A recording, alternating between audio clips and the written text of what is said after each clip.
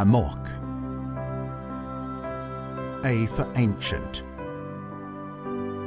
Traditionally speaking, the Rosicrucian order dates back to the mystery schools of ancient Egypt.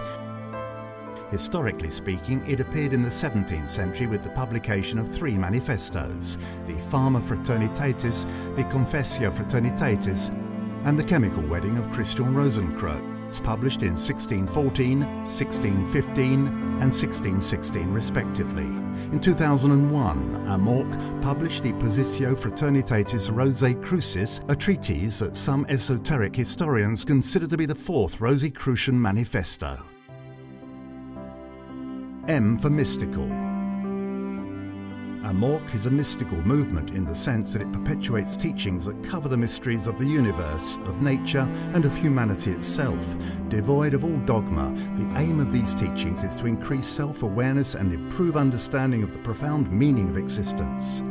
Today, they are presented in the form of booklets that each member receives at home or to which he has access via the internet. Those seeking it may also receive training by attending lectures at a lodge. O for order.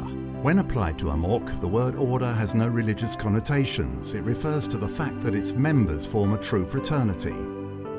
It was once considered quite rightly to be a secret society, as this was necessary in order to protect itself from religious and political persecution. Today, AMORC is a discreet movement that brings together men and women of all races, nationalities, religions, and social classes. Its motto is the greatest tolerance within the strictest independence. R for Rose. To the members of AMORC, the rose symbolises the human soul. From a Rosicrucian point of view, it is pure and perfect in essence, and all individuals evolve under its guidance, even if they are not objectively aware of it. Our existence on earth is precisely in order to raise our awareness of the special wisdom of the soul and to express this through our behaviour. Because such an objective cannot be attained in one life only, most Rosicrucians accept the principle of reincarnation. C for Crucis.